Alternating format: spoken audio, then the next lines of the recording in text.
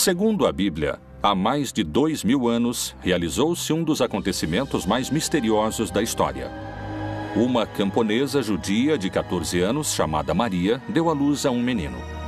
A mulher era virgem e seu filho, Jesus, seria reconhecido como o salvador de seu povo. Há poucas provas da vida extraordinária dessa mulher, muitas perguntas e mistérios assombrosos. Como e por que há tão pouca informação e, no entanto, se fala tanto dela ao ponto de ser um dos pilares da Igreja Católica? Que enigmas se escondem na Bíblia sobre a Virgem Maria?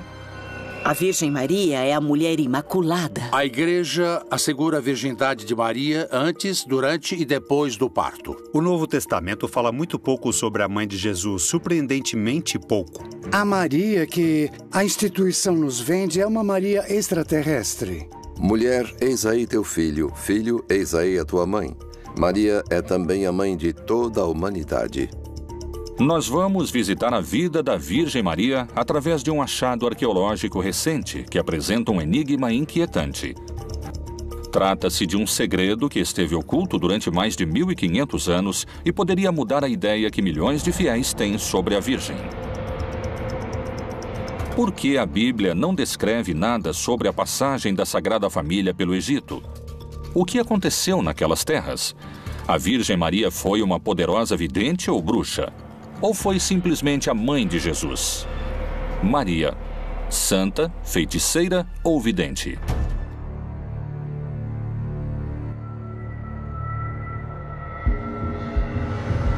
Recentemente, um manuscrito de mais de 1500 anos foi interpretado, escrito em língua copta, um idioma usado pela cristandade no Antigo Egito. É um feito que surpreendeu a comunidade científica, sobretudo pelo que sugere seu título: O Evangelho dos Oráculos de Maria. Através do novo texto, encontramos evidências de que Maria estava associada com práticas oraculares. Comunidades originárias ligadas justamente a práticas de cura, pois retomaram a figura de Maria e fizeram justamente esse escrito. A partir disso, a pergunta que surge é se Maria, em seu ministério, em sua vida, usou de práticas curativas. A Igreja Católica vem administrando de diferentes maneiras ao longo de sua história a aparição de figuras que dizem possuir poderes mágicos. Aparecem nos escritos dizendo que elas têm algum tipo de poder. Em geral, esses poderes têm a ver com a comunicação com o divino ou com a saúde. Como o texto do Evangelho dos Oráculos de Maria está escrito em uma língua egípcia antiga, diferentes investigadores estão trabalhando na tradução de seus textos. Embora a existência do livro tenha se revelado em 1984, recentemente conseguiu ser interpretado e alguns especialistas apontam um seguidor de Maria como seu autor. A professora de religião da Universidade de Princeton, que tem o trabalho de estudar e traduzir o livro misterioso, tem sua versão. O texto foi escrito no século V ou VI da nossa era. É o Evangelho dos Oráculos de Maria, a mãe de Jesus. Maria recebeu as respostas que estão escritas nesses textos através do arcanjo Gabriel. Eu descobri que é um texto que ajuda a prever o futuro. É um livro que seria usado para definições. São 37 oráculos que podem ser utilizados basicamente por qualquer pessoa. Ele dizia assim: Apresse-se, pois é chegado o tempo. Seu coração estará feliz. Siga adiante, porque a matéria está ligada a vocês através de Deus. Ele o preparará para um bom caminho e o salvará da aflição que o atinge. Se esses oráculos encontrados estão baseados no que transmitia a Virgem Maria, ela poderia ter tido poderes de vidente?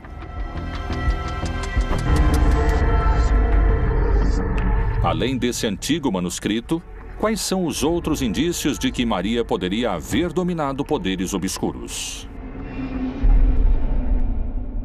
Supõe-se que Maria podia fazer milagres, não diretamente, mas através, por exemplo, pendurar as roupas de Jesus no quintal e as pessoas vinham, as tocavam e então recebiam algumas curas. O que seriam os milagres no marco do cristianismo? Ele é a aparição do extraordinário na vida cotidiana das pessoas e que, em geral, o que funciona como prova para fazer de alguém um santo.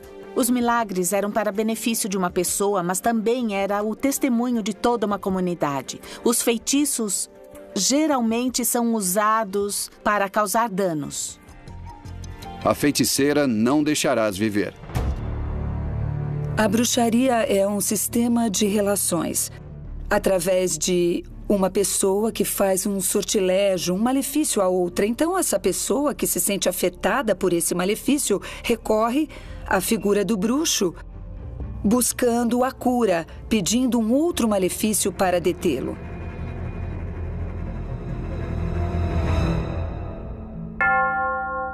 Desde mais de dois mil anos, centenas de milagres são atribuídos à Virgem Maria em todo o mundo.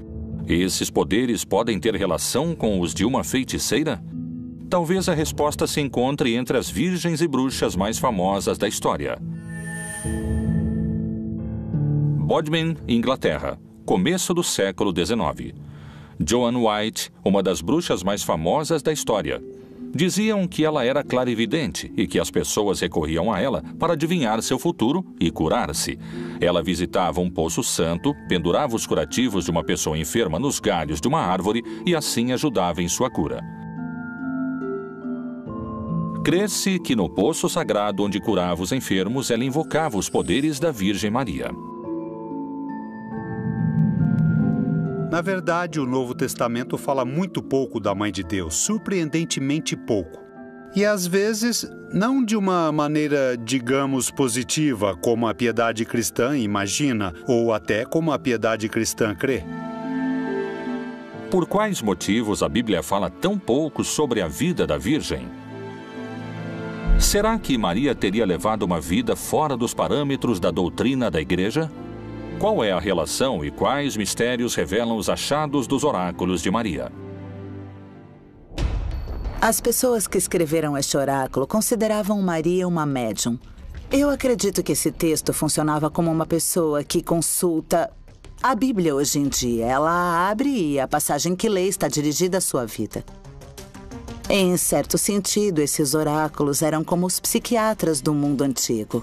São muitas as passagens bíblicas que anunciam os castigos de Deus àqueles que desviam do caminho e das escrituras sagradas. A leitura que se faz através desses personagens é uma leitura oficial. E é a leitura que chega a todos nós. Algum homem ou mulher em si tiver um espírito de necromancia ou espírito de adivinhação, certamente morrerá. Serão apedrejados. O seu sangue será sobre eles. Na Bíblia, vamos encontrar é, personagens que estarão fora de toda a estrutura religiosa, que queriam se apresentar ou que se apresentavam dentro do povo. A bruxaria é incompatível com a fé em Deus a partir do ponto de vista bíblico, porque aquele que dá a saúde, se você usa de bruxaria para se curar, aquele que dá a saúde é Deus, embora existam médicos. Se se trata de conhecer o futuro, aquele que o revela é Deus. E aquele que conduz a história é somente Deus. Portanto, a bruxaria é incompatível com a fé no Senhor. As aparições da Virgem Maria são sempre um mistério. Nessa questão entra uma série de aparições marianas que podemos entender como uma intervenção da mãe do nosso Senhor, da mãe de Deus. A igreja tem muito cuidado quanto a reconhecer uma aparição, porque a charlatanice é muito fácil. Em 11 de agosto de 1858, em Lourdes, na França, a jovem Bernadette Soubirous caminhava quando escutou um barulho e sentiu o vento.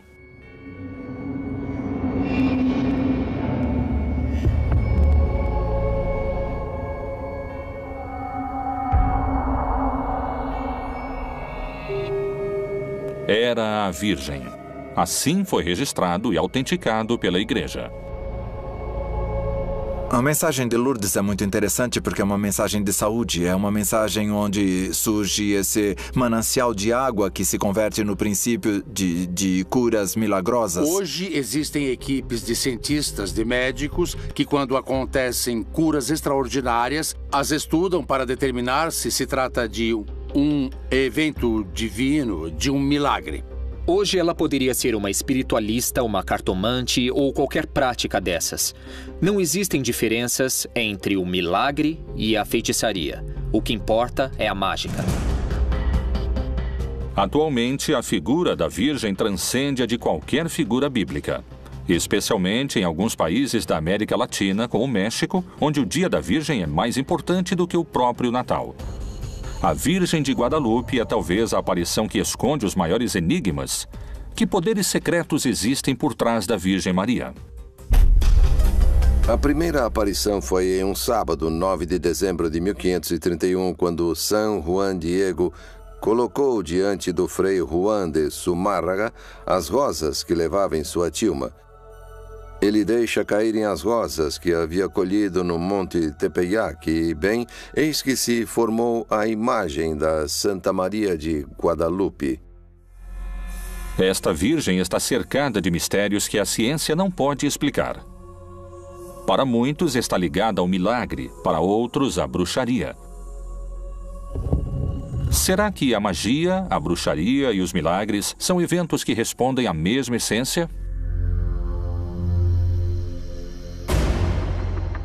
Ao longo dos séculos foram feitas várias investigações em torno da imagem de Guadalupe. As primeiras que chamaram a atenção foi quando, em 1938, tiraram uma fotografia dos, dos olhos e neles se encontrava como que o perfil de uma pessoa. Trabalhando em uma importante empresa de processamento digital de imagens, o engenheiro José Asti Tosman realizou a digitalização de uma fotografia do rosto da Virgem de Guadalupe, tirada diretamente da tilma original.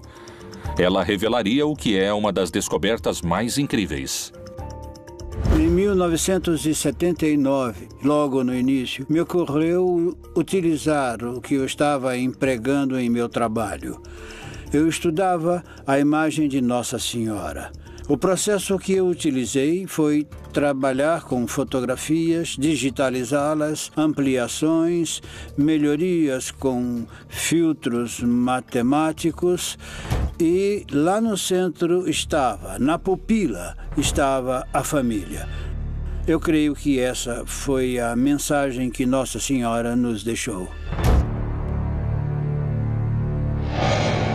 A Virgem de Guadalupe é adorada por milhões de fiéis ao redor do mundo que asseguram terem sido testemunhas de inúmeros milagres. Grandes multidões se reúnem todos os anos para pedirem e agradecerem. As curas que ali acontecem mantêm a esperança dos que se aproximam e dão à Virgem e aos seus poderes milagrosos um papel de protagonista na fé, até mesmo maior do que o de seu filho Jesus. Eu vim agradecer o aparecimento da minha sobrinha, que estava perdida e, graças a Deus, voltou. Nós a encontramos, então eu vim cumprir a promessa. Para mim, ela é tudo, com certeza. É como a mãe que a vida nos deu. Ela é algo muito importante. Meu problema é que há muitos anos eu não consegui engravidar. Então, eu pedi à Virgem que me desse esse milagre de engravidar. Essa é a minha filha. No dia 17 fará um mês e eu vim agradecer à Virgem por eu ser mãe.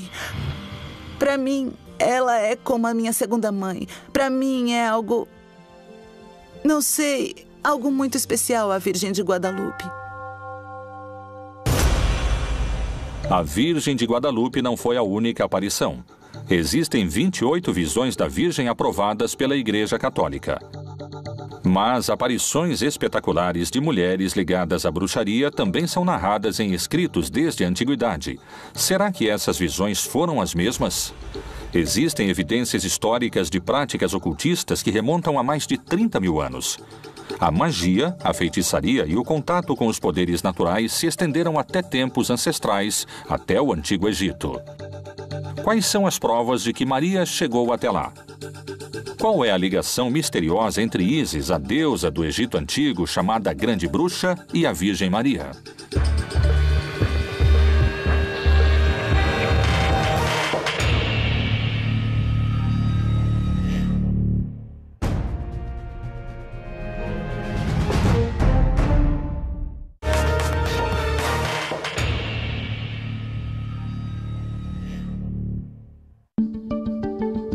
A descoberta de um manuscrito de mais de 1.500 anos de idade intitulado O Evangelho dos Oráculos de Maria surpreendeu a comunidade arqueológica e despertou uma hipótese inquietante. Será que Maria teria sido uma vidente? Existem antecedentes dessas práticas no Egito? Especialistas afirmam que esse texto misterioso foi usado lá. Já na Idade Média, se tentava identificar a Maria e até mesmo a Jesus como personagens que aprenderam com a sabedoria dos egípcios, especialmente dos magos, e que foram destas artes secretas que eles obtinham as fórmulas ou o poder para realizar os milagres. Será que a Virgem Maria teria chegado até essa região do Alto Egito? Ela aprendeu no Egito técnicas para dominar poderes misteriosos? Maria estava no lugar onde o manuscrito foi achado? Para revelar esses mistérios, é necessário seguir os passos da Sagrada Família até a terra dos faraós. Então Herodes, vendo que havia sido iludido pelos magos, irritou-se muito e mandou matar todos os meninos que havia em Belém. O contexto é que Herodes, um idumeu, aliado a Roma, fica sabendo da visita de uns magos que vinham do Oriente e que havia nascido um rei. Ele pensa que é um rei terreno que vai tirá-lo de seu lugar. E então ele decide matar os meninos de uma aldeia que fica ao sul da Judéia e que se chama Belém. E tendo ele se retirado, eis que o anjo do Senhor apareceu a José num sonho, dizendo: Levanta-te e toma o menino e sua mãe, e foge para o Egito, e demora-te lá até que eu te diga, porque Herodes há de procurar o menino para o matar. Quando nós lemos as Escrituras Sagradas, com certeza ela nos diz que, para salvar o menino de Herodes, que pretendia matá-lo, a Sagrada Família foi para o Egito. No Egito, a feitiçaria ou as práticas mágicas ligadas aos sacerdotes, aos sábios, fazem parte da cultura milenar. Muitas das práticas culturais e religiosas foram absorvidas também por Israel. Mesmo sem termos conhecimento do local onde foi encontrado o Evangelho dos Oráculos de Maria, os textos similares dão indícios de uma possível origem onde práticas religiosas e rituais pagãos eram realizados.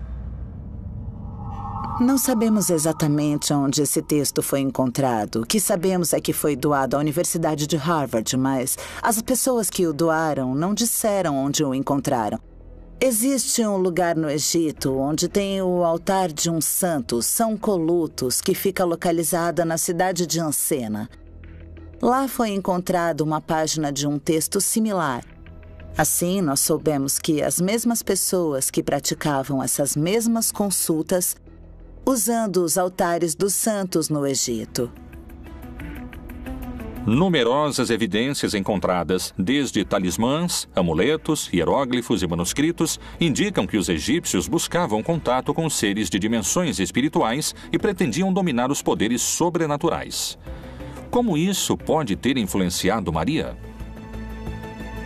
Todas essas sociedades que nós viríamos a chamar de Oriente Médio, com processos de expansão desses reinos que se transformaram em impérios e suas políticas de dividir as comunidades e realizar deportações foram se formando comunidades desses grupos que começaram a ser, digamos, excluídos desse lugar geográfico onde habitavam e começaram a viver em outras zonas. Analisar sociedades antigas com os parâmetros de hoje às vezes pode ser um pouco complicado porque temos que nos situar no contexto. Nesse momento, estamos situados nos primeiros séculos, do primeiro ao terceiro século da era cristã, onde o termo que se utilizava mais comumente era o termo mago, maga, que vinha do egípcio mag, que significa sacerdote. Então, são as pessoas ligadas a essas práticas sacerdotais e curativas na época que hoje as tipificamos como práticas de feitiçaria. Assim, Maria e sua família passaram de serem adorados por reis do Oriente a serem fugitivos perseguidos pela lei. Segundo o Evangelho extracanônico, a Sagrada Família partiu de Belém até Gaza, onde atualmente é o Parque de Zaranik, situado a 40 quilômetros a oeste de Al-Arish. Eles entraram no território egípcio pela parte mais setentrional do árido e duro deserto do Sinai. Nós temos registros do século 6 a.C. de uma comunidade em Elefantina, eh, composta praticamente por militares judeus, os quais haviam encontrado os papiros, os famosos papiros de Elefantina. Esses papiros nos revelaram como era o judaísmo na época. Em Elefantina havia um judaísmo sincrético, onde o templo era dedicado a Yahvé e também à deusa Anat.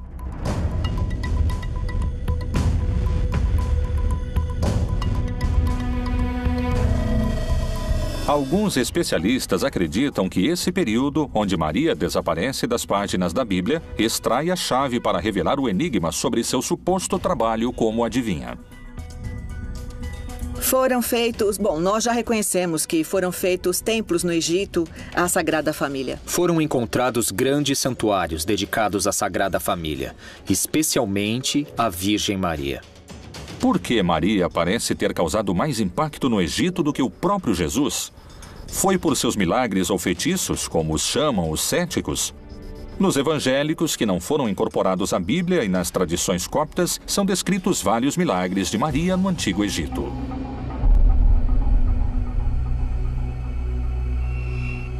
Jesus também utilizava plantas medicinais para suas, para suas curas, possivelmente. Isso faz parte, poderíamos dizer, das uh, práticas tradicionais, uh, medicinais, nas quais as mulheres teriam um papel fundamental.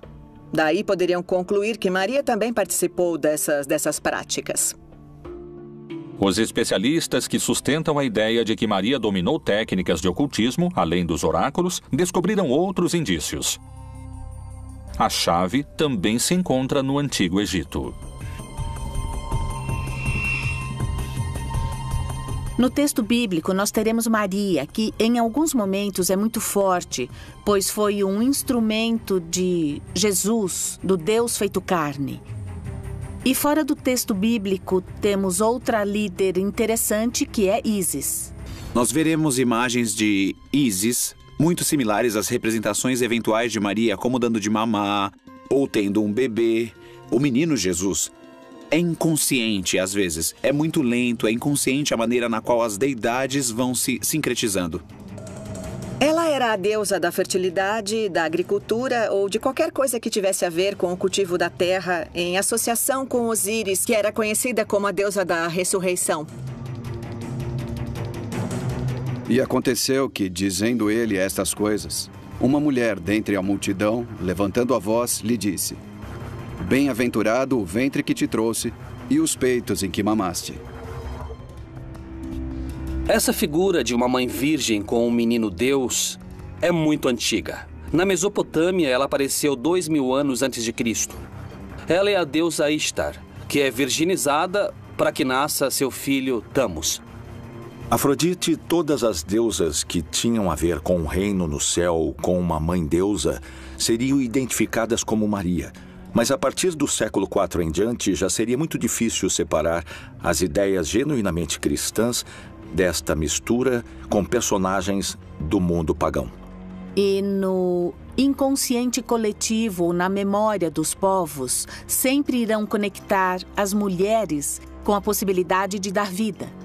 Ou seja, porque tem um bebê em seu ventre, dão vida, mas também isso vai conectá-las ao momento da ressurreição. Depois de vários séculos de transição, desde a adoração a Ísis ao culto a Maria e ao cristianismo, a veneração à deusa egípcia desapareceu. No entanto, a igreja cristã teria que enfrentar expressões de culto pagão que ameaçavam suas doutrinas. Qual será a verdadeira razão que levou a Inquisição à caça às bruxas? Por acaso a perseguição seria porque seus poderes competiam com os de Maria?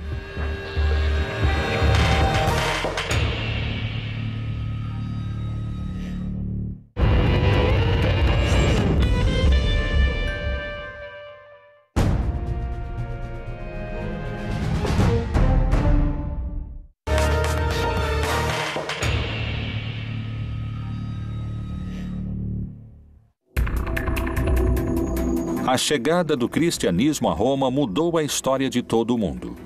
A igreja recém-nascida se encontrou com as crenças chamadas pagãs e foi produzido um choque sem precedentes. Segundo alguns estudiosos, a figura da Virgem Maria também haveria sofrido mudanças para adaptá-la às crenças pré-existentes. O que foi escondido sobre a verdadeira Virgem Maria?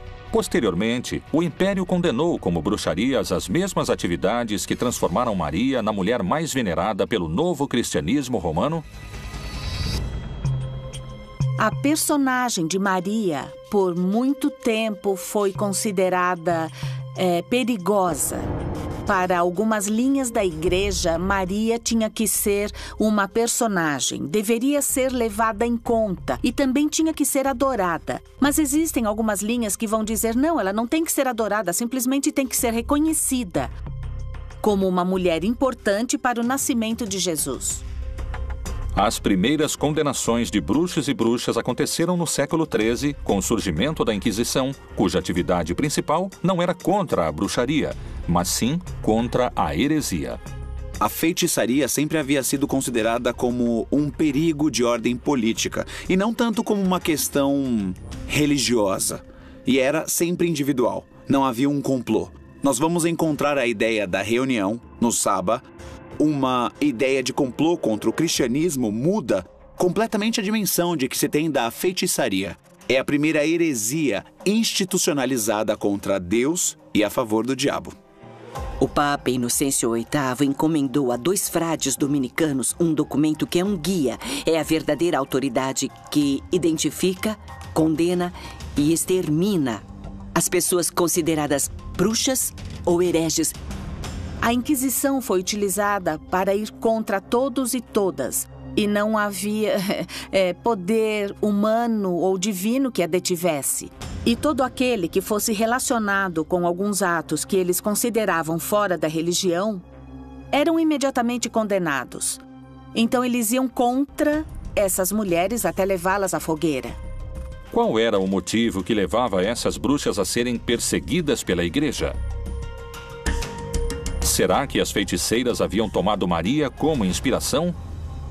Quando se vinculava a Maria durante o tempo da Inquisição, se vinculava a mulheres que seriam chamadas de bruxas. Mas eram essas mulheres que se atreviam a ler além do que a igreja permitia. Então, é claro, a igreja começou a dizer que elas eram bruxas. Se atreviam a ter outro tipo de conhecimento que não era conveniente. A devoção à Virgem Maria na época da Inquisição era um sinal do mal.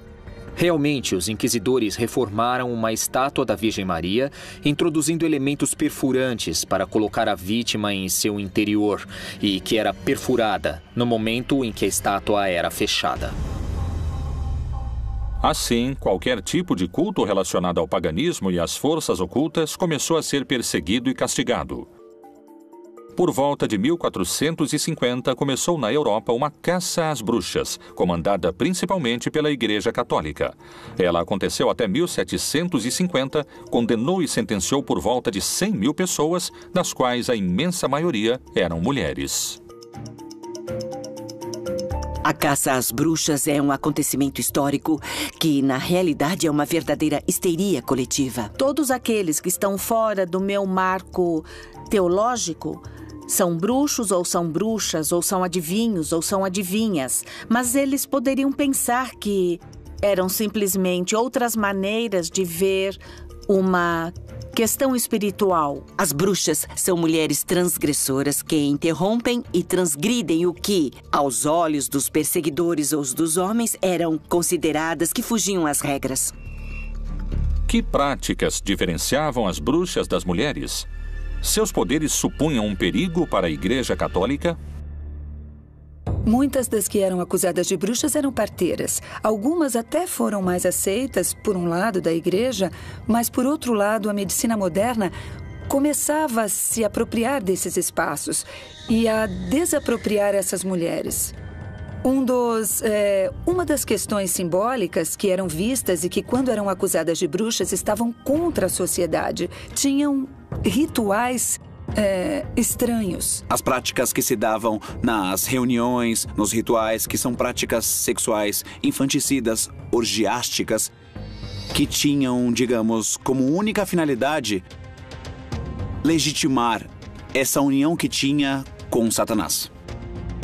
Mas o corpo não é para a fornicação, senão para o Senhor e o Senhor para o corpo. O Martelo das Bruxas é um documento, uma obra literária que é tomada como um guia e que concede toda a autoridade para identificar, condenar e exterminar aqueles que praticam a bruxaria.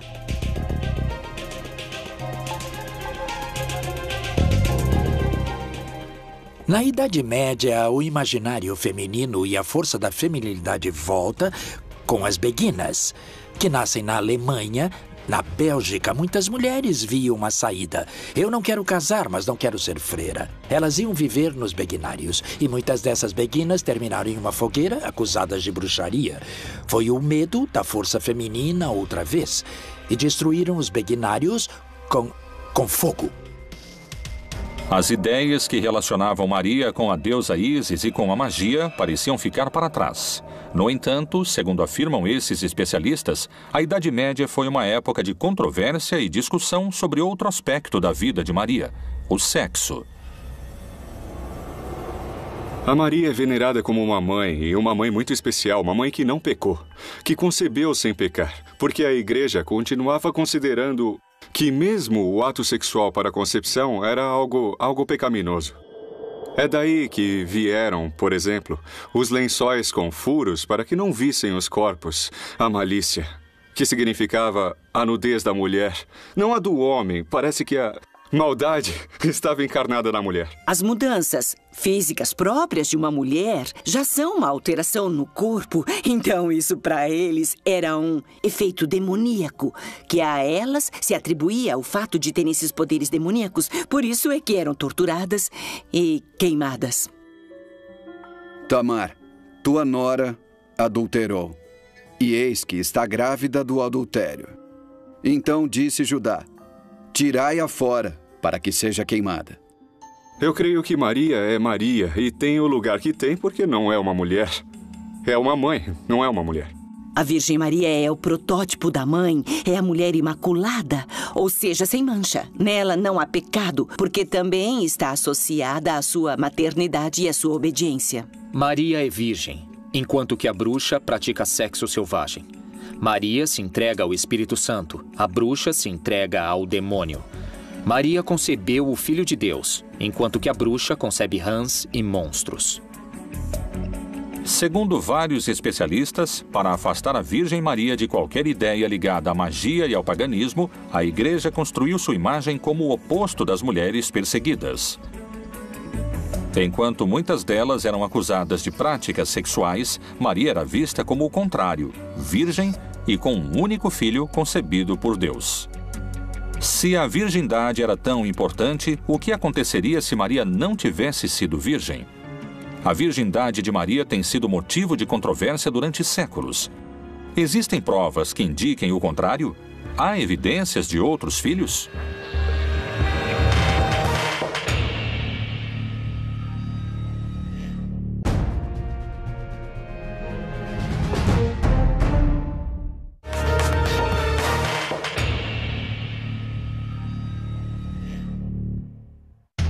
Os textos sagrados diferenciam a Virgem Maria do resto das mulheres.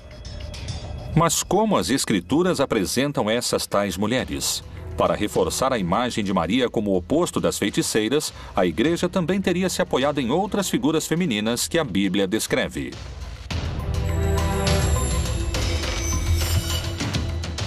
A Bíblia é extraordinariamente misógina. Com certeza, alguém que tem um pensamento aberto a respeito da mulher não pode aceitar o conteúdo da Bíblia nesse sentido. A Bíblia repudia a mulher desde Eva em diante. É até linguístico. Eva é o contrário de ave, que é sagrado. Essa visão da mulher foi se reproduzindo e crescendo e que já vinha de todas as mulheres más da Bíblia, que é uma visão tremendamente machista. De um Deus muito inclemente, por outro lado. Eva, como um protótipo da humanidade, acaba associada como pecadora que se deixou seduzir pela serpente, que é associada com demônio, com Satanás. E por ela se diz que foi introduzido o pecado e a morte e a dor da mulher ao dar à luz. E disse a mulher: Multiplicarei grandemente a tua dor e a tua conceição. Com dor darás à luz filhos, e o teu desejo será para o teu marido, e ele te dominará. Adão e Eva pecam. Adão e Eva se separam do plano original de Deus, enquanto que Maria é virgem, é fiel. Maria Madalena é uma mulher que aparece nos quatro evangelhos nos momentos mais importantes da vida de Jesus. É dito que Jesus expulsou sete demônios dela. Obviamente, uma interpretação patriarcal o associa imediatamente aos varões. Ela é pecadora porque tinha sete amantes ou maridos. Agora, como também é representada Maria Madalena na iconografia?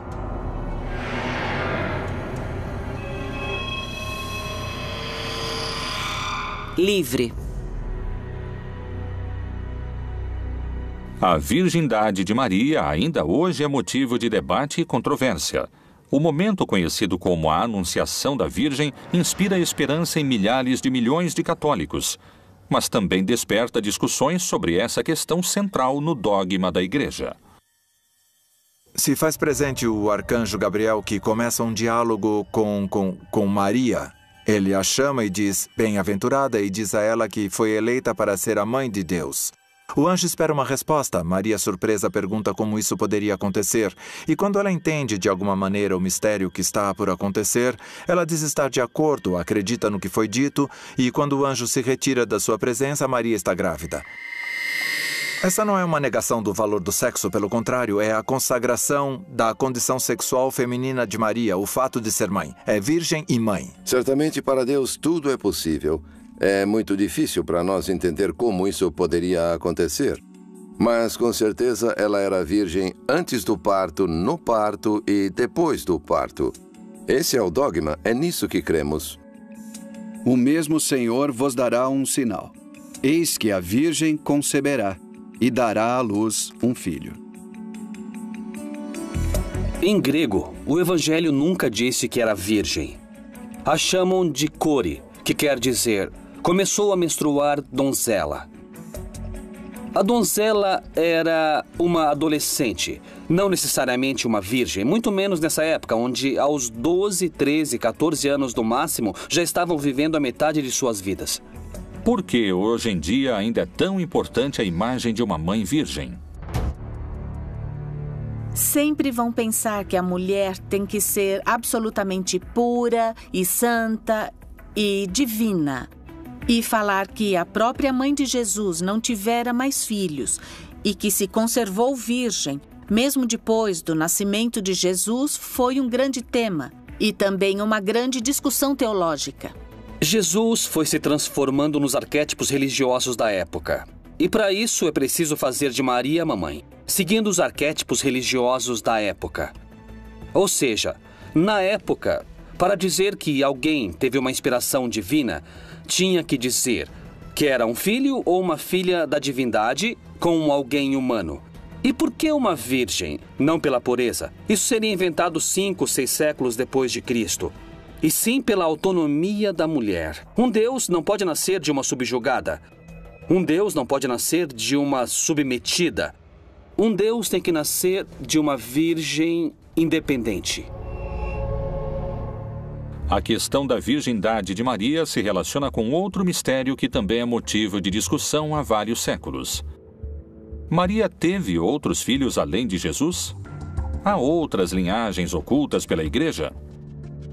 Vamos observar que nos evangelhos se fala de outros irmãos de Jesus e que certamente Maria teve outros filhos. A igreja trata de ignorar isso por um princípio de dogma. Esse dogma sempre trata Maria como virgem, pretendendo elevar um pouco a condição de Maria a uma situação de, de destaque, quase que espiritual. E ele, ainda falando para a multidão, eis que estavam fora sua mãe e seus irmãos, pretendendo falar. Essas expressões deram brecha para que alguns digam que Maria tenha tido mais filhos. Nós temos que ver que o texto bíblico, quando quer falar de filhos, diz filho de, ou nascido de, ou gerado por. E a expressão filho de Maria não aparece nunca no texto sagrado. As interpretações sobre a virgindade de Maria, seus poderes e seus outros filhos são diversas e seguem sendo motivo de discussão atualmente. O que ninguém põe em dúvida, nem historiadores e nem teólogos, é que Maria foi a mãe de Jesus. Porque só um dos evangelhos a menciona aos pés da cruz no dia da crucificação de seu filho? Que dados a igreja e a Bíblia escondem sobre a relação entre Maria e Jesus? Maria foi uma militante do projeto do Reino de Deus ou foi sua pior detratora?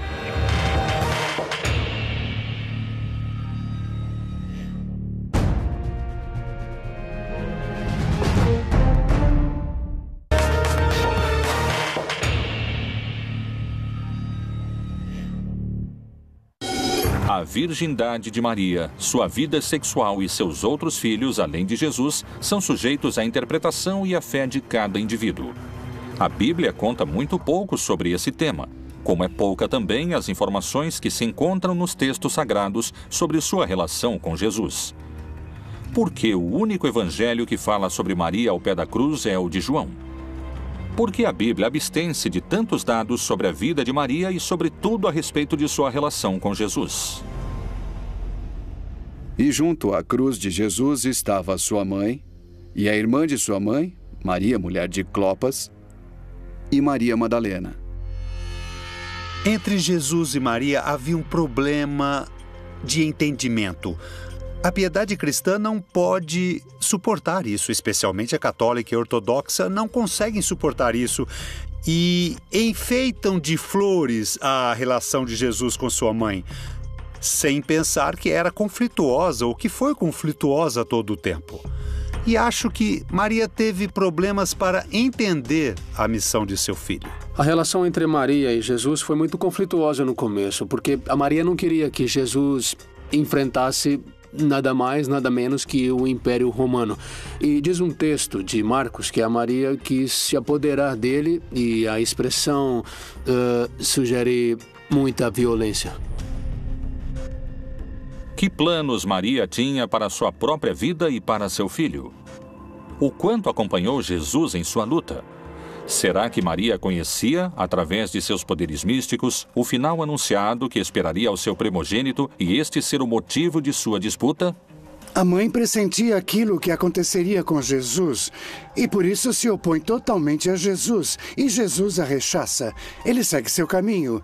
E quando a mãe interfere, ele diz à mãe que não se meta. Em certa ocasião, Jesus é avisado que sua mãe e seus irmãos procuram por ele. E ele diz: E quem são minha mãe e meus irmãos? Esta resposta, mesmo que tenha um lado positivo, é agressiva com sua mãe. E então Jesus disse: Quem não deixar pai, mãe, filho e irmãos não pode ser meu discípulo, porque os inimigos do homem serão os da sua casa. Maria realmente se opôs, sem dúvida. Ah, naturalmente, e depois, depois se converteu, depois se transforma. Essa é a Maria que realmente pode servir realmente a um crente hoje que crê em um projeto de libertação. E foi-lhe dito: Estão lá fora tua mãe e teus irmãos que querem ver-te. Mas respondendo ele, disse-lhes: minha mãe e meus irmãos são aqueles que ouvem a palavra de Deus e a executam. Maria se transforma naturalmente em um símbolo, um símbolo instigante. O problema é se esse símbolo que nos foi apresentado corresponde à realidade histórica ou então a distorce. O mistério da vida de Maria inquieta estudiosos e fiéis há mais de dois mil anos. Para alguns, ela foi uma jovem e simples mulher judia que deu à luz ao Messias. Outros sustentam que sua imagem é uma construção feita pela igreja, que teve mais filhos, que foi uma vidente e que viveu sua vida sexual com liberdade.